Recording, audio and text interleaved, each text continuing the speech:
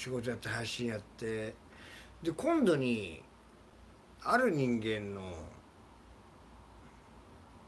またアウトレ YouTuber か？分かんないけどその周りに相談来て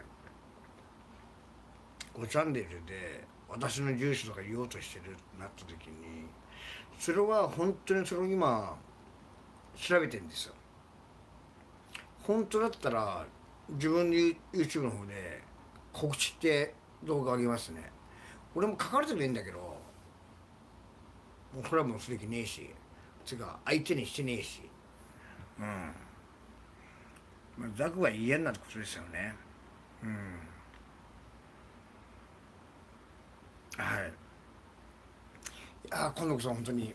うん。